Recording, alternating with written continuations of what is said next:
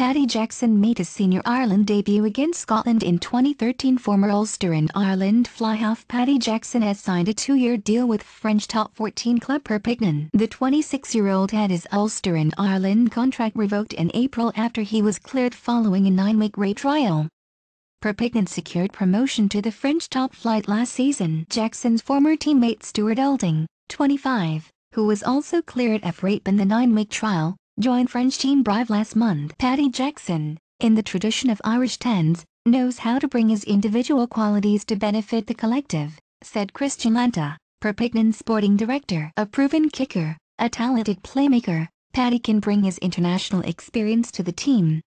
Olding also signed a two-year deal with Brive, who were relegated from the top 14 last season. Two weeks after the players' acquittals, the IRFU and Ulster revoked their contracts with immediate effect following controversy over details of social media and text messages which emerged during the trial. An IRFU Ulster Rugby statement said, in arriving at this decision, the Irish Rugby Football Union and Ulster Rugby acknowledge our responsibility and commitment to the core values of the game, respect, inclusivity and integrity.